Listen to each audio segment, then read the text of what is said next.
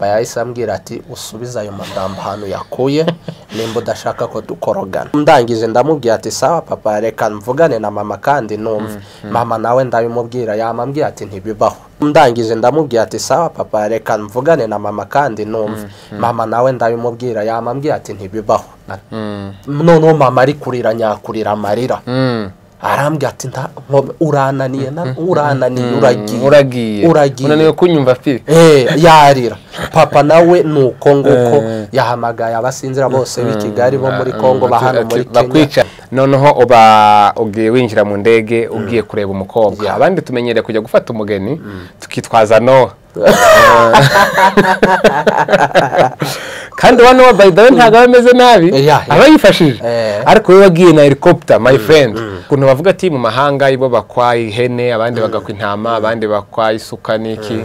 Muri muri kiritire bakaba mwasanze bakwa iki ihene. Ihene bari bari aho naho Eh, mama we yari yarize wenda gupfa bafashe. Bavuga ati uyu ni umuhungu wa nyaburanga. Eh, uyu ni we? ni we ni Eh. umuhungu wa nyaburanga. Eh. Imana- nyine nta hantu itakura umuntu ubundi umuntu wahereza abantu akazi abahemba amafaranga atari makeya.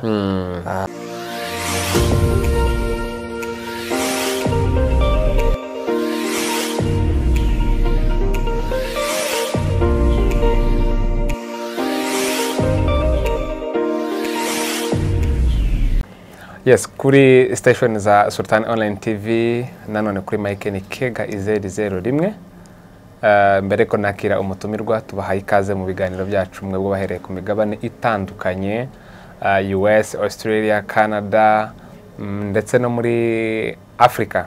Tuzi ko muri benshi mukurikirana ibiganiro byacu kandi turabashimiye ku bufatanye mutwereka n'urukundo mutwereka natwe bigatuma dukora tuzi ko ari mwe dukorera nk'uko ari byo twihaye. Nanone ni ya ngingo ni imwe gusa ya- rya jambo nanone riyoboye hano kuri sultani. Think different think the unique. Dutekereze bitandukanye hanyuma duse n'abatekereze kandi bisa nk'aho bidasanzwe kuko si ngombwa ngo duhere kuri ya stage. Yego. Mfite umutumirwa pasita ah, muzi cyangwa se n'abatamuzi muraje mumenye. Ndashaka kumwiyegereza ngo amenye cyangwa se abwire abarimo dukurikirana uwo nakiriye. Uwo ari we hanyuma turushaho tuganire. Tuguhaye ikaze. Asante sana. Ah, ndashimira eh, wowe. Ndashimira n'ikinyamakuru cyawe cya sultan. Yego. Ah, imana ibaha umugisha. Ku mazina nitwa nkomezi bosco. Ah, na ndabashimira cyane ko mu mwanya wanyu imana ibaha umugisha. Mm. duhaye mu by'ukuri tuguhaye ikaze kandi wisange. Ah, hanyuma tuganire. Ah, pastor bosco nkomezi twakire kuri station za sultan. Ah, mu by'ukuri tuguhaye ikaze. Pastor dufite byinshi twaganiraho. Eh, kuko muri wowe harimo byinshi. Ariko uyu munsi twahisemo ko tuganira ku kintu kimwe. Eh, ibyo bato bita love story. Eh, buriya buri wese ku bubatse eh, baba bafite ukuntu bagiye bamenyana cyangwa bafite ukuntu inzira byahereyemo. Kimwe nk'uko wenda kuba pasiteri afite ukuntu byatangiye. Yatangiye muri sunday school azamuka kwaya bene ibyo ngibyo. Eh, mbere na mbere uwo nakiriye eh, pasita nkomezi ni mu ntoki ok pasiteri nkomezi eh, ni umuntu wamenyekanye cyane mu bintu bijyanye n'imiziki gucuranga. Ah, aho ngaho ni ho na- namenyekanye cyane. Keyboard cyangwa? Ah, ah, ingoma. Ingoma. Ingoma eh, drum. ya drum. Mm. ni ho abantu bamenyeye guhera mu rwanda Mm. ah, hano muri kenya abantu bose abenshi bari banzi muri iyo kariya yego. Ariko nkomezi akaba ari umwe muri bene nyirakivuruga avuka i murenge. Ya kabisa kabisa. Ndi umusinzira w'umukwakuzi Eh. wo mu yihe nzu hari abakwakuzi ushobora kuba bari kudukurikirana Eh, wo kwa mukongo Eh, ya Uh, niba utaranahabaye wumva ku itongo hari hehe? Eh, neza mu rugo ni mu minembwe? ni mu minembwe ni mu ya. minembwe. Yego. Ubwo nakire ni pasiteri byibuze mu minota nk'ibiri Mm. eh, ku myaka mitoya kuba uri pasiteri aba ari ukubera ko wabyize cyane ufite masters muri byo cyangwa niba muhamagara ihamagara abafite intege nke ariko ikabaha imbaraga. Ya eh, wa- aho ngaho uvugishije ukuri ni ni umuhamagaro. Ariko hagati yaho ndibuka ko ah, ku bazi inkomezi wa kera ah, nk'uko nababwiye aho ngaho bari bazi inkomezi uvuza ingoma kandi si mu nsengero cyane cyane bari banzi hanze uvuza ingoma hanze mu tubari mu makwe ahantu hatari heza. Nubwo naje gucuranga no mu nsengero ariko cyane cyane bari banzi hanze. Ariko ndibuka ubwo nabwiye mama ndamubwira ndamubwira ati ngewe nzaba umukozi w'imana kandi ukomeye. Njyatura nkiri umwana mutoya. Ariko kumva iryo jambo ryaje kunkurikirana rirana ri- rimbaho kabisa ku buryo imana yaje gutimiza gut- Yego, eh, gu- amasezerano.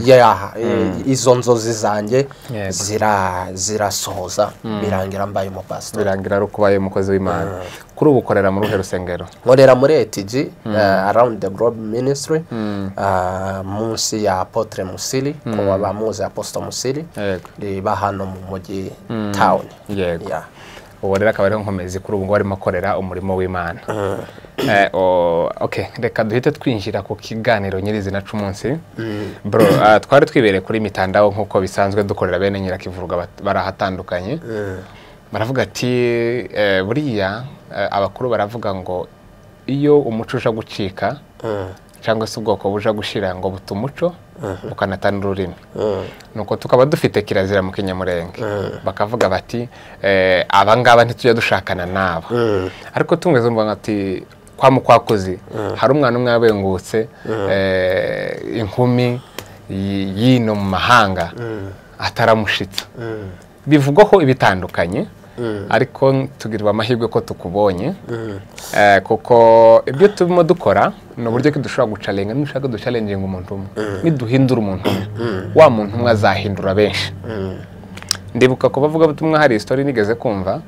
Eh, umuvugabutumwa umwe yagiye kubwiriza agiye kubwiriza hakizwa umuntu umwe. Wa muntu umwe wakijijwe yari Bill Graham. Mhm. Bill Graham nawe yakijije amamiliyoni y'abantu. Uko niko ubutumwa rero bugenda bugenda. Natwe nitugira uwo duhinduye imyumvire umwe uwo nawe azahindura n'abandi. Twifuza ko uduha love story Mm, ya- y'ukuntu eh, washatse umunyakenya. Kandi kwa mukwakuzi bafite aho baza baja gusaba abageni. Ah, hari irage tuba tuvuga mu ifomora ko eh, sogokuru yasize avuze. Mm. ntitwamenyaga nimba agasinzira yasize avuze ati nimugera muri kenya. Yego. Noneho ni byo nshaka ngo tuganirire. Eh, hari ibyo twumvishe bitandukanye ariko noneho ubitubwire umubwire- utubwire ukuntu mwa ukuntu washetse muri kino gihugu ukuntu mwabonanye n'uwo mukobwa nyuma yo kumubenga ukuntu wahisemo kubimubwira tuganire. Nk'uko nababwiye na- navuye iri iwacu ah, nza hano muri kenya gushaka ubuzima kimwe n'abandi. Ariko nza inje muri ya muri ya talenti yanjye yo gucuranga. Ya, ni bwo naje nashakisha utuzi ariko ngeze hano nsanga ubuzima burakomeye. Nibwo rero nafashe umwanzuro mpura n'abandi bacuranzi ngize imana banzanamo hano naho twaje dushakisha insengero twacurangamo tutazi kandi sinari nzi indimi sinari nzi igiswahili sinari nzi icyongereza nari imeze nk'ikiragi hano Nairobi nta kintu nari nzi no mu mujyi sinari mazi baje bamfashe ukuboko. Ni ukuvuga ngo twaraje imana iratuyobora itugeza hano muri uru rusengero. Ndangije ah, hariho wari usanzwe amasikariye uzi urwo rusengero cyangwa hari uwo mwari muziranye hari uwo mwazanye wari usanzwe uhazi? Yes uwo- aho ni ho mvuze ni umucuranzi wundi nawe uvuza ingoma bita museveni. Niwe nawe wamfashe ukuboko nawe ntawe- nawe nta hantu yari azi. Turavuga ati tugende gusa. Tugende dushakisha ahantu hari insengero tu twinjiremo dushake tubaze ahantu baba bakeneye abacuranzi. Nibwo twaje tuza tugera muri uru rusengero. Ah, aho ngaho muri urwo rusengero turangije turazamuka harimo amayesikariye maze kwinjiramo gutya turangije twinjiye mu muryango w'u- w'urusengero. Ndavuga ati nari ndi kumwe na museveni. Ndamubwira ati njye ndamuka mbonye akazi muri uru rusengero. Sinzaruvamo. Kweri uru rurimi rurarema. Ah, imana yaje guca inzira muri makeya. Tubonamo ut- utuzi. Ah, mvuzamo gitari base nuko buri nama- sande? Yes. Eh, ariko nyine bari bafite amasavisi guhera ku wa mbere kugeza undi wa mbere. Nama nguma aho ngaho kugeza n'ubu ngubu. Ni bwo rero aho imana yaje kumpera umugisha. Ah, uko nashatse rero muri makeya. Mm, ukuntu wamubengutse yego. Aha nabonaga umukobwa uje yavaga muri biro ah, akaza kuririmba ubwo navuzaga gitari. Ariko aho ni nyuma yo ku- yo kugira ma- maze kuhamenyera. Yego. Nivugiriza gitari ariko nkabona umukobwa ari- ava iriya muri biro araza akaririmba. Ariko nkabona na- nagizega ngo ni umunyamurenge asa Eh, nk'abanyamurenge kuma gutya arasa n'umunyamurenge? Neza cyane. mazina akitwa yitwa sara yego. Nuko. Mm. nuko rero maze kumenya maze kumubonamo nk'umunyamurenge ntaraje ndibu- ndibuka mu munsi wa mbere muvugisha naramubwiye ati mwiriwe. Mm. aranyihorera. Mm. ngira ngo ntiyanyumvishije neza nsubiramo ndamubwira ati mwiriwe. Ntumva ntamvugishije. Mm. ndamubwira ati sasa mbona aransubije. Ndavuga ati uyu muntu si umunyamurenge. Ubwo rero mubaza akandi kantu mu giswahili numva aransubije. Nari mfite agantuze nari nambaye hano ka- ka- ka- Yego, agakomo? agakomo Eh, yego. umunsi wa mbere nita ngakuramo ndamubwira ati ngo haye kano kantu ntuzigere ugakuramo. Umu- niryo ni cyo kintu cya mbere ya mbere y'uko musuhuza. Naramusuhuje ndangije ngakuramo muri bya bindi byanjye bya by'ubusitari by'ibiki nari mvuye iriya ntarakizwa eh, bya bindi by'ubuderanjeri ngakuramo ndakamuha muri burage ndamubwira ati ntuzagate. Ariko byaje kuntangaza n'ejo bundi yarakanyeretse. Turi kabisa. kumwe eh, Mm. turi kumwe yarabaye umugore wanjye. Arakanyereka Mm. mbona ko nako mu byaduhuje nako kari karimo. Ako rero mm, ako rero maze kukamuha hari hari vandredi muri kesha yego.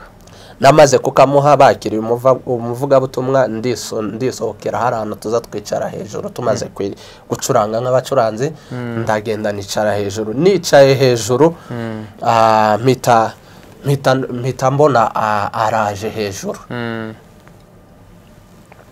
aje hejuru Mm. akurura intebe Mm. azana iruhande rwanjye arambwira ati aka kantu kampereye iki Mm. ndabwira ati nta ntacyo tuzaje ukambara nta kibazo. Bizajya binezeza mbonye ukambaye Mm. Eh, abona ni ibintu bidasanzwe.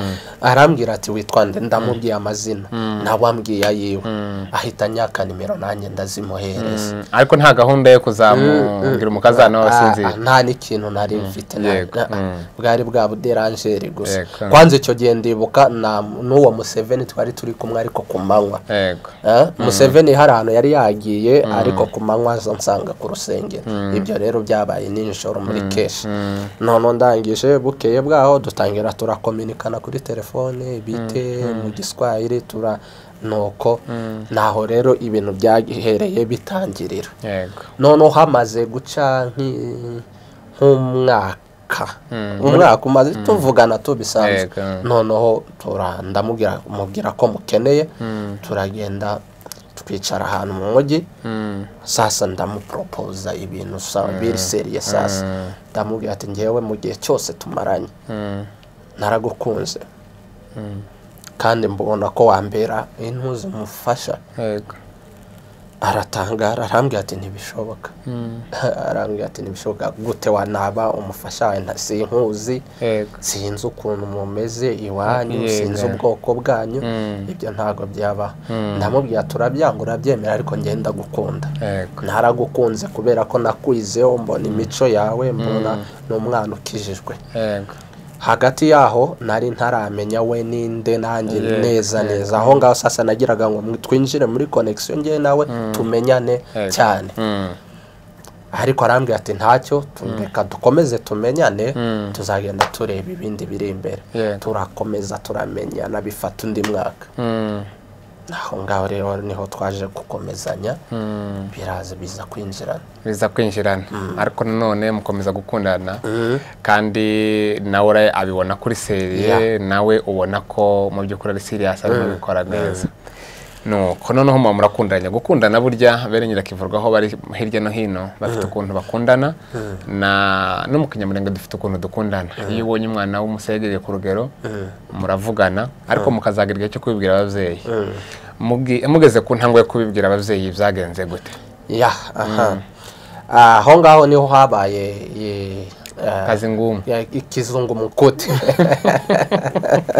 ya ku ruhande rwiwe rw'umukobwa byabaye ibintu bigoranye nanjye ku ruhande rwanjye ku babyeyi ibintu bigoranye gute sasa iyo urebye famiye y'umukobwa ni famiye ni umwapotere papa wiwe ukomeye hano mu gihugu Ah, no muri leta ni uko nguko.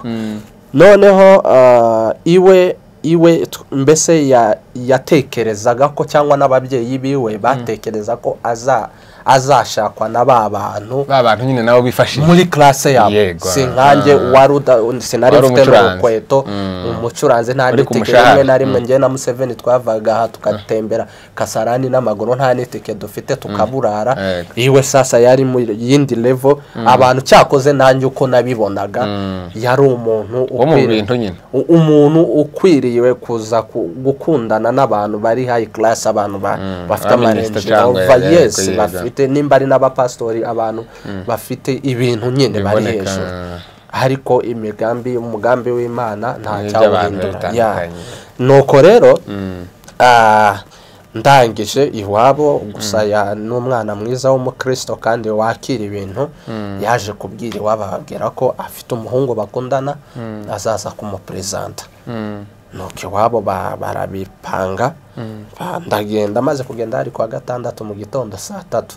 Bampaye gahunda ya saa tatu. Wajanye se n'undi musore wo kwa gasinzira? Na- bwari ubwa mbere nari ngiye kubabwira official ko nkundana n'umukobwa wabo. Bampa gahunda ya saa tatu. Saa saa mbiri na mirongo itanu n'itandatu ndibuka. Nari ndi gukanda sonere y'igipangu cyabo Mm. nari nahageze nari nzi ko ngomba kutica gahunda kandi cyagutangaza nta tike nari mfite. Navuye hano mu mujyi na ravington n'amaguru. Icuya canyishe ndi kunuka icuya. Eh? Eh. Ariko baravuga ngo ushaka inka aryama Eh. ariko hari ibintu byinshi n'amagambo yagiye ahita bavuga ati "Ah, ah, abanyagihugu nyine bavuga ati uyu mwana oh, avuye iri yaje kurya imari za, za apotre musiri. No. Ikintu cyamfashije ni uko ibaze nagiye kuvuga iwabo official ah, hari kuwa gatanu. Kuwa gatanu ni bwo namenye ko ari umwana wa apotre. Iyo minsi yose iyo myaka yarayindije. Wari umuzi nka sara gusa. Nari muzi nka sara umuririmbyi wo muri present worship n'umunyamakuru gusa. Nta kindi nari nzi noneho ah, ariko icyampaye ingufu ni ukuntu si ibyo byo kuvuga ngo nari nkurikiye imari ntabyo nari nzi ko ari umwana wabo nari nzi ko ari umukobwa usanzwe imana yasanze urukundo. Yes eh. yego. nuko ndangije ndagenda baranyakira. Ah, bamaze kunyakira nsanga batetse banyiteguye. Ndangije. Bari bafite itapi y'umutuku mu nzu. Ndavuga ati ninkuramo izi nkweto. Ntabwo biri bugaragara neza. Shangwe eh. ndavuga ati reka zinjirane afadhali bangaye nagiye Eh, ariko eh, batumvishije eh, hari ukuntu hari agapafimu katari keza eh.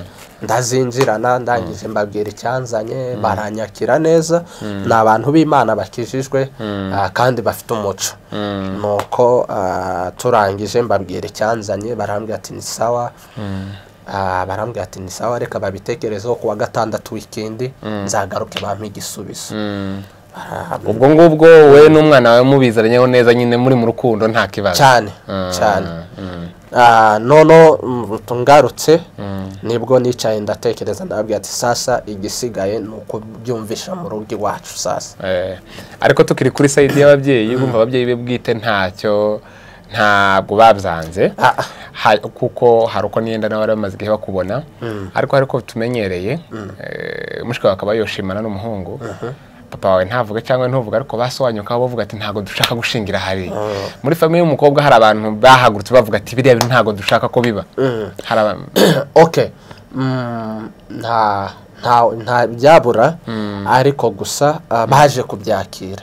Kandi baje kubona famiye yanjye bari bazi ko o- obvious ba- bari bazi ko abantu bo mu kindi gihugu baba kenshi baba atari abantu beza se cyangwa bafite eh. indi mico itandukanye n'iyabo. Ariko icyaje kubatangaza ni uko imico yacu na yo ihuye n'iyabo. Irahuye. Neza neza. Yego. Neza kabisa noneho bimaze kwinjirana barishima bagira gute? Nuko hari umuntu ushobora kutubaza ndetse ah, muri kenya ko dufite kabila nyinshi sara yaba kuvuka mu yihe kabila? Ni mukamba. Yego. Ni mukamba. Ya. Nuko rero ah, mvuyeyo ndaza icyari gisigaye cyari gikomeye. Kwari ukuja amasinzira. Abasinzira noneho maze kwicara mfata telefone mpamagara mu rugo. Mm, ndababwira ati sasa njyewe mfite umuntu dukundana kandi w'umunyakenya umukobwa dukundana kandi w'umunyakenya.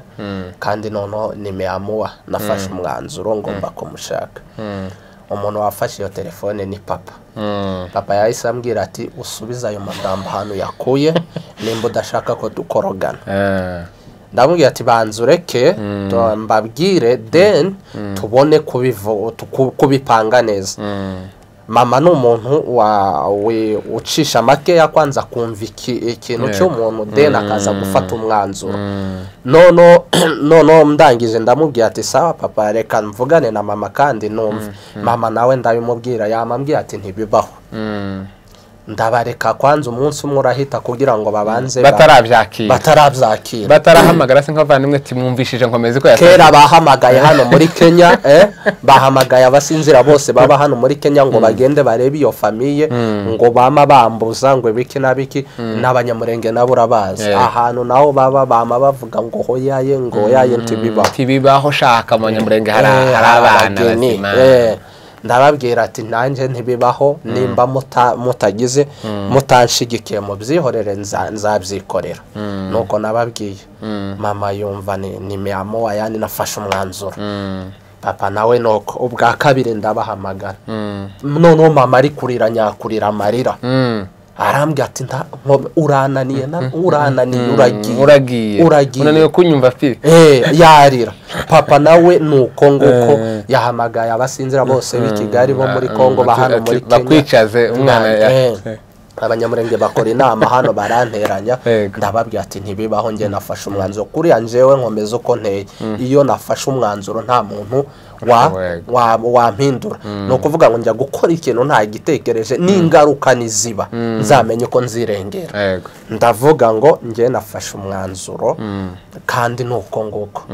Ikintu nasabye mama na papa naragiye ati mumfashe ikintu kimwe. Mm, mumbabarire muze murebe famiye mumenyane nimutayishima. Mm, nzareba icyo gukora. Niko nababwiye. Mm. Bumva agatima karagarutse baravuga ati wenda ubwo azagira icyo gukora wenda aza ufite icyo wahinduraho. Eya, ni uko nguko kuwa gatandatu ubwo iminsi irageze yo gusubira kwa data yego.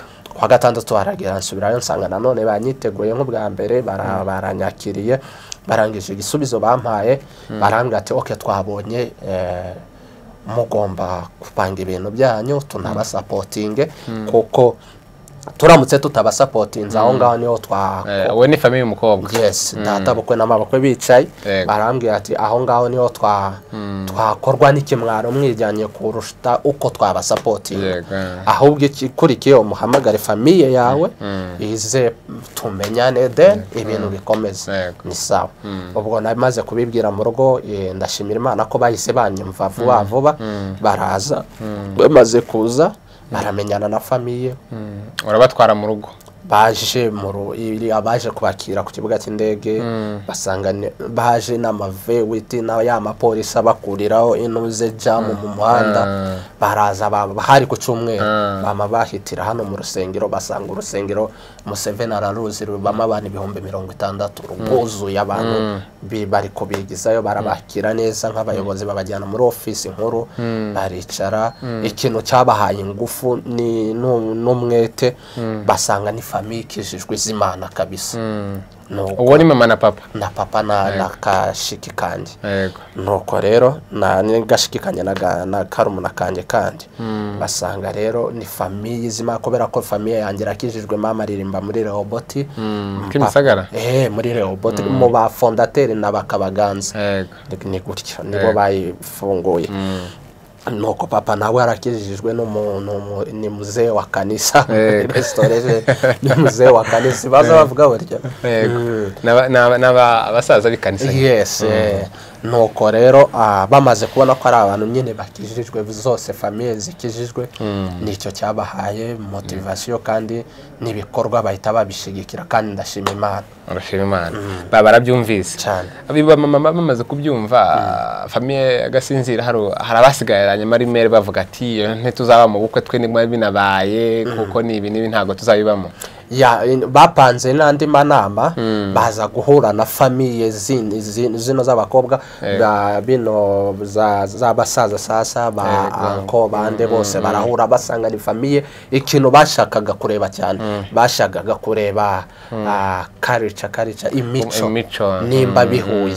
so byaje guhura bicamo neza Yego. ibintu byose gufomora basanga byose barabigira so ni icyo ngicyo rero. Ubukwe butangiye gutegurwa ya noneho bitangira neza cyane. Mm. Ah, hari amakuru yatugezeho baratubwiye ngo umuntu wagiye eh, gu- gufata irembo ngo in- indege yaje kumutwara. Eh, mbere y'uko tuja mu bukwe nyirizina kuko dufite umuco dukoresha twebwe nk'abere nyirakivuruga wa kabyare na nyuma yo gutanga akabyare hari umufomoro. Urumva umufomoro yari mu mwako mwifashishije igiswahili mwese kibahuje kandi sinzi ko karizariwa zopfa sinzi uko byakozwe. Niwe ubwiye kubitubwira uko byakozwe. Eh, nyuma ubukwe bumaze kuba official butegurwa neza Eh, niki cyane cyabigaragayemo wagiye kugusabira irembo. Ikindi ko tumenyereye gukwa inka zitatu eh, wako umunani bakakurongoranya hakaba ingabire hakaba gukurikira umukobwa. Iho kuri wewe eh, ibibanziriza ubukwe kwanza nk'iko byagenze gute? Ya ni kimwe n'iby'abandi ni n'inka umunani aha. N'ibindi. Bike bike nki- ni ibintu bisanzwe Ah, kandi ibyo byo kuvuga ngo indege ni byo. Twajyanyemo na ba pasiteri byicaza. Agiye gufata irembo? Ya. Mm. eh, ni we twajyanyemo. Ah, tugera iriya ah, n'abandi. Indege yabafatiye hari abavuze ati yabafatiye garaji.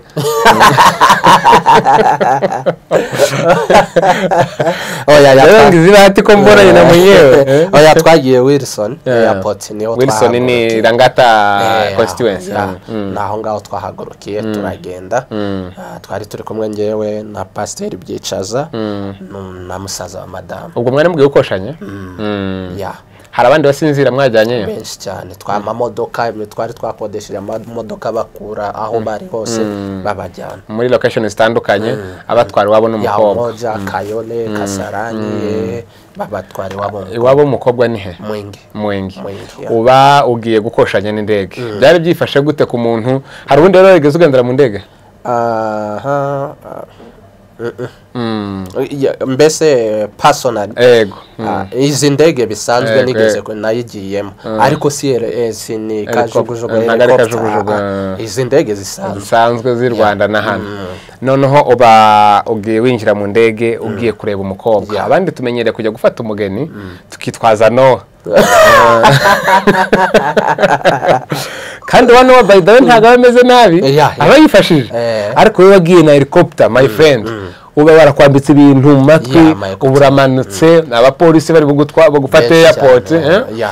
wabyumvisha ute nk'umuhungu wo kwa gasinzira? Noneho ugiye gufata umukobwa nta nowa ukagenda na kajugujugu nabyumvise neza cyane kandi na bampaye n'agaciro ah, bihindura bihindura n'isura uko namaze kurira indege tugiye ah, tugeze neza mu kirere aho twari turi. Yego cya mwingi. Cya Mwingi. ni kaunti gani? Ah, mwingi ni ukambani. Ukambane Eh, noneho nsanga ah, bateguye ama red carpet aho ngaho abapolisi ama- aho ama imodoka zihenze ziri aho.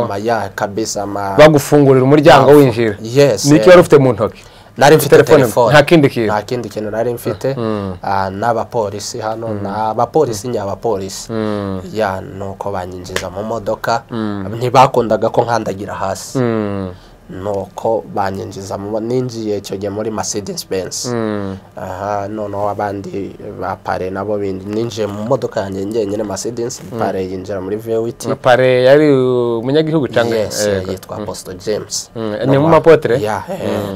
Eh. noneho nawe yinjira muri vewiti n'abandi bajya muri za renji rova turagenda turatembera aho ngaho yabanzanira mm, icyo gihe wibukaga ko uvuka mu minembwe? Oya ibitekerezo byari byagiye ahandi abanyamurenga aho ngaho ni ho bampereye agaciro Eh. Ba- baririmbye n'izindi ndirimbo ntari ntarumva n'undi munsi Eh, eh, imodoka zabanjijeyo hanyuma wowe w'indege uza kuza Za- nyuma kubera ko twababanje kunzengurutsa mu kirere. Bakwereka igihugu uko kimeze ni Ah. abanyamurenge nabo bari aho bari kuririmba kandi biteguye ko indege igushitsa kuri kuri site yes aho ngaho nari ndi hejuru yabo ba- eh, mama na papa bari no se? ba- eh, bari bari aho naho mama we yari yarize wenda gupfa bafashe. Bavuga ati uyu ni umuhungu wa nyaburanga. Eh, uyu ni we ni we ni Eh. umuhungu wa nyaburanga. Eh. Aravuga ati imana nta hantu itakura nzani akambwira ati nzani n'ubu ngubu iyo twaba tuvugana azambwira inzani ukuntu wazereraga iriya ufite uturisho tubiri ukirirwa urwana n'abapasitori banze Eh, kukwishyura eh, magana yego. atanu igihumbi. ariko ubu ngubu ngenda umuntu wakwandika abantu nabaha akazi nkabahemba umushahara yes ushimishije. Yes niyo mpamvu imana ari imana. nuko eh, muba murashitse barakugururiye winjiye muri mercedes mugihe noneho ahantu hari ibirori. abande bararirimbye nari hari hariho abakobwa bano babyina Eh, taradisiyoneri eh, aba- muri sayidi y'abakamba n'abanyamurenge yes n'abanyamurenge barakoze ibintu neza bigenda neza abasinzira ni ibintu bigenda neza. Muri culture wari wambaye iki mugiye gusa? Nari nambaye ikoti n'ijire na karuvante. Mm. Umukobwa we yambara iki? Yari yambaye imyenda miremire y'imyeru. Yego. Ya. Hari ukuntu bavuga ati mu mahanga ibo bakwa ihene abandi bagakwa intama abandi bakwa isuka n'iki. Muri muri kiritire y'abakamba mwasanze bakwa iki? Ihene. Ihene. Ihene. Ihene ko numva ngo bakwa nyinshi bwaba bakoye zingahe Ah, ya ni nyinshi kweri nakoye ihe- ihene mirongo ine. Ihene mirongo ine. Ubwo ihene mirongo ine ko n- mbo- umunyamurenge nzi bakoye inka nyinshi yakoye makumyabiri na zitanu. Eh, wowe ukoye ihene mirongo ine bakurongoranya zingahe eh, ni zitatu. Bakurongoranya zitatu. Ubwo tuvuge ko ufite ihene ahantu. Eh, ndazifite kabisa. Eh, ndazifite. Njyayo uwo every weekend kuzireba. Kuzireba. Eh, nuko. Bosco aba akoze dote irarangira ubwo nyuma ya dote umuvuye gusaba urumva indege yakugaruye nairobi. Ya wilson icyo gihe wari uki- wari ukibase muri area za kasarani? Cyangwa kera umutekano warabaye muke? Ah, na- nari nimutse already eh, na- bagiye muri quartier nari mu nganda muri quartier Eh, icyo gihe utegura ubukwe wari kuba muri iyihe quartier? Nari ndi kuba hano ahantu bita urabona hano ya airport ya Jomo Kenyatta imbere yaho gatoya. Nibwo na- ni ho ni ho nahitiye mbese ya. Icyo gihe kasarani wabonaga umutekano utameze neza. Eh kabisa. Mm, kubera ko nari burya ngo bihinduka mu gitondo. Mu gitondo kimwe bihindutse byose biba bihindutse koko. Nuko ubukwe bwo bwateguwe gute? Ubukwe bwateguwe neza cyane kandi noneho bari bameze neza ikintu cyose kimeze neza kandi ibintu bite hari ibintu tuvuga ati famiye y'umuhungu nimenya ubukwe. Nawe niko byari bimeze cyangwa mwarahuje noneho mukorera ibintu hamwe? Twarahuje ibintu ah, ah, ibintu bikorerwa hamwe mbese ahantu tubona turemerewe yego bakabafasha kuko ubukwe ni ubw'imiryango ibiri. kabisa. Ubwo noneho ubukwe bubaye neza nta cyari kibuze. Imodoka zari zihari. Nyinshi cyane. Indege se yongeye gukora mu bukwe? Ah, kubera ko yari hano hano ku rusengero haje amamodoka marimuzine amwe maremare cyane. Haje marimuzine buri wakoresheje limuzine? Nyinshi. Nta nawe yari irimo se imodoka ntoya yari irimo ni ni ndagira ngo ntayo kubera ko rimuzini ama Range Rover ama Discovery Yego. ama ama ama Vewiti ama V8 Ya, ni Mm, amamodoka ayo niyo modoka yakoze muri muri navuga muri timu yawe. Ya. ubukwe bwawe burabaye. Urarahira. Nuko nawe uba umusore wo kwa wo mu bakamba uri umwana wabo. Nawe nawe uzana umukazana none kwa gasinzira. Nyuma yaho urumva wari unyuze mu, bintu bisa nkaho bitoroshye eh, byo kuvuga ati uzanye umuntu ariko ndakeka ko muvuye mu bukwe byahise biceceka. Cyane. Mm, yeah. byahise biceceka ubu murabanye na sara nta kibazo. Cyane cyane cyane. Eh, tumeze neza. ubu se waba uri kumwigisha ikinyamurenge? Amaze kumenya ikinyamurenge aratelefona mu rugo bakavugana bike bike. Tuza tuja gutembera iwacu. Yego. afite umuco mwiza. Afite umuco mwiza yeah. ariko barambwiye ngo bro ngo ubuzima bwahise buhinduka ubu ngubu urashobora kuba uri ku gasiteringi ni ukubera imana imana yarabihinduye. yarabihinduye Ah, ubu waba ugikora aka kazi wakoraga se ah, ah. Ubu washatse undi muntu ubugahaye Eh, imana imana nyine nta hantu itakura umuntu ubundi umuntu wahereza abantu akazi abahemba amafaranga ukamuhemba atari makeya. Ah, nupf- imana imana yarabihinduye burya none niyanjyana imwe. Kuri sultani hari ikintu kimwe tuba tuvuga. Ni ukubaho ukabeshaho n'abandi. Urumva waba umaze kubaho imana ikubwiye ngo ngaho genda wibereho nawe ufata umugambi wo kubeshaho n'abandi ushobora gutanga akazi. Bro uh, urakoze kuduha iyo story nuko byagenze kugeza kuri none. Kandi ubu ni urugo rwo kwa nkomezi na sara. Bameze neza. Abantu babasura. Yego noneho reka tugene eh, amasomo. We wanyuze muri iyo challenge. Kandi wari ufashe inzira buriya inzira turimo tunyuramo none aba abantu abaprotestant ntabwo ariyo martin luther king yanyuzemo rero hari abantu bazagukurikira bakaja gushaka mu bakikuyu bagashaka mu bakalenjini n'abandi. Ndashaka ngo ugene inama zibiri. Iyi nama ya mbere urayigena ku babyeyi. Sibyo? Indi urayi- urayigana ah, tuyiganisha mu rubyiruko ah, kuko turi muri digital system. Kandi turi mu mahanga. Hari igihe bizaba ngombwa ko ushikira mu bushinwa. Kuko hari undi ngira ngo ni umusinzira kandi yashatse kwa kwa nshinwa ngo ni kumufomora bari bavuga. Bati kuko gasinzira asize avuze ngo tubure umugeni. Tuzosimbukire mu bushinwa tubaze nshinwa aturebere. Umwe mu bakobwa biwe. Eh. yego hanyuma ngaho gena ubutumwa bikurikije n'ibyo wanyuzemo. N'ukuntu kuko ubuzima burahinduka by the way. Hmm? kandi nimba tuja muri amerika si byiza ngo duhite tuja mu masengero y'aba- ya bene wacu. Ntacu tuziga. Ariko nituja mu bazungu tu- tukainterakitinga n'izo communities zizaduhindura. Yego ngaho ngenera ubutumwa. Ya ikintu cya mbere nshima. Ndashima ku ku bw'iyi saha hari abantu bamaze guhindura imyumvire yaba ku babyeyi yaba ari no ku rubyiruko.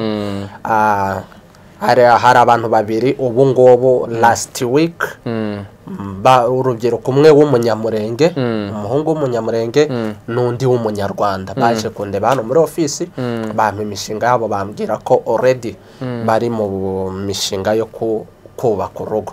Umunyamurenge agiye gushaka umukikuyu yaje kundeba hano ejo bundi ambwira ngo mugire inama ukuntu ibintu bimeze mbese nawe eh, umuhe ubuhamya ukuntu biba ya bikoze. n'ukuntu ibintu biba bimeze nk'umuntu wabimenyereye kandi ngewe uhorana nabo Ah, ah, icyo ni icya mbere nshimira ah, urubyiruko. Yarisobanukiwe kandi ambwira ko n'ababyeyi biwe babyakiriye. Uwo ni uwa mbere. Mugira inama turaganira uwa kabiri ni last week kwanza nari ndi kumwe na n'undi mukozi w'imana bita prophet steve wadika. Mm, ni umuhungu nawe w'umunyarwanda nawe ugiye gushaka umukamba.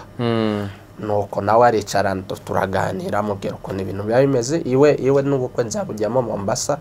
Ni- n'ejo bundi mu kwa munani ndagira ngo. Nuko rero ugasanga barafungutse already mind zabo zarafungutse. ntibafite ya myumvire yo kuvuga ngo ngo ngo nimba ndashatse mu banyamurenge bene wacu yego. Ntibibaho ntibikunda ntibyakunda. Kandi no ku babyeyi ikintu nababwira burya urukundo rujya aho rushatse kandi umuntu nimba umwensise gushaka uyu nguyu ashobora kubikora ashobora kuvuga ati kubera ko bensise bakambuza n'iki reka mpfe kugenda. Nk'umukozi w'imana. Ngenda akubwira ati urwo rugo azarugira ariko ntiruzagira amahoro. Kandi ntiruzagira umugisha. Kubera ko yagiye atarwishimiye atagize gute no. Wewe nimba umuhungu wawe umusore wawe yakunze cyangwa inkumi yawe yakunze ahantu aho ariho hose wewe mushigikire. Mushigikire umusapotinge nurangiza ureka ibindi imana izikorere. Izi- so naba- na- njye ni cyo nababwira kandi ku babyeyi mbese bareka abana bikundanire Yes. hari nk'abantu bakivuga ati abasinzira ntabwo tuba dushakana ku rugero n'abega Ah, waje wakundana mu bega bakavuga ati kuva kera ntituba dushakana. Ibyo bintu byaba bigifite icyo bitumariye kuri none. No nta kintu bifite bi- bi- bimaze. Nababwira ati bahindure ya, imyumvire. Kubera ko ubu ngubu urukundo rujya aho rushatse kandi buriya imana niyo igena ibintu byose. Imana yavuze ngo uru rugo nzaruhesha umugisha. Niyo waba warashatse hehe? Niyo waba warashatswe hehe? Gusa icyangombwa ni uko umugisha. wawe imana iba iruhande rwawe. So imana imana iyo ivuze ngo ndaguha umugisha niyo waba warashatse hehe imana iguha umugisha ntireba kandi ntawe utakubera umugore mwiza nta n'utakubera umugabo Eh, mwiza. Nta hantu imana itaguhera nta umugisha naho itanakura bosco tuganye ku musozo wa kino kiganiro turagushimiye. Buriya hari icyo biba bishaka kumenya. Hari abantu ba- bumvisha amabwire. Noneho urumva biyumviye bosco arimo aduha ubuhamya. Aduha aho imana yamukuye. Kuri ubu ngubu bosco nta kiriya bosco wo gucuranga mu tubari. Ni pasiteri. Muri Eh, Mm, muri around the global The ni hano town eh, rwose ni umupasiteri mwanasura. The way w'itorero ufite ibikorwa byinshi bita- bitandukanye bafitemo televiziyo zibiri bafitemo radiyo n'ibindi n'indi mishinga myinshi n'indi mugiye kumva vuba ahangaha igiye kujya hanze y'ishuri ryigisha gucuranga n'ibindi bikorwa bitandukanye. Ni umusore ugaragara akiri muto ariko afite ibikorwa bitandukanye naho ibindi byo gushaka byo eh, ntaho imana ntawe utashaka nta n'utakubera umugisha kuri wowe. Turagushimiye. Sante sante. Eh, ku buhamya uduhaye n'ukuntu utuganirije. Turagusigira gusa inshingano imwe. Hano hariya wagiye. Hanze bene nyirakivuruga. Uzahasehere bene nyirakivuruga. Siko bimeze. Eh, umwana uzi ufite impano. Urusengero rwawe rushaka ugenda umuhamagare utange akazi. Ubeho unabeshe n'abandi hanyuma a- habe n'umwego uzagusanga nashimana n'umukikuyu. Wowe uzamuhagararire nk'uwafashe iya mbere eh, kugira ngo duhindure imyumvire ndetse dukore mu buryo eh, dushobora kwiteza imbere. Nyuma yo guhinduka urumva ni wa mugambi umwe wo gushaka guteza imbere ndetse n'abandi. Turagushimiye. Imana ibaguhe umugisha. Hanyuma n'abakomeje kudukurikirana turabashimiye mu by'ukuri kuba mudukurikirana ibyo dushatse kubategurira uwo tubashakiye n'uwo mudutumye tukamubazanira. Dukomeje kuvuga ngo murakoze kandi eh, tubazirikana cyane. Namwe mukomeze mukurikirana ibiganiro byacu. Kuri mike ni kege zero ziri rimwe reka umuvandimwe nawe atwibutsa amazina ye hanyuma tugane ku musozo. Ya. Ku mazina nk'uko nababwiye nitwa pasiteri nkomezi bosco. Imana ibahe umugisha mwinshi.